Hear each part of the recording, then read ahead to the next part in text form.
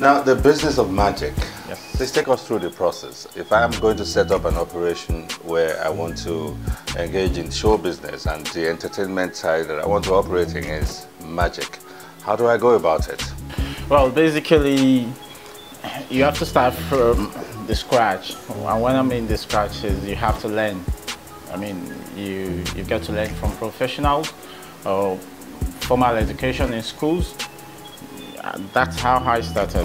You've got to have a business plan, like any Oh, other you write business. business plan for magic? Yes, you do because you see, in recent times, then it used to be uh, when you talk about entrepreneurship, it used to be in business, but nowadays it's gone beyond that. It's gone into social and political activities.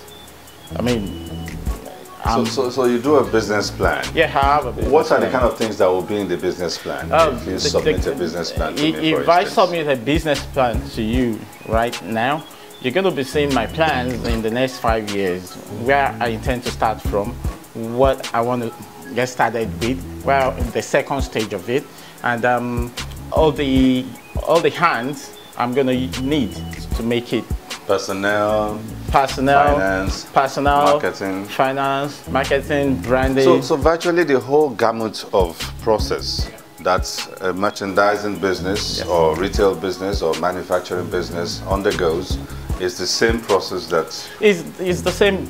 It's the same process because um, I'm into show business.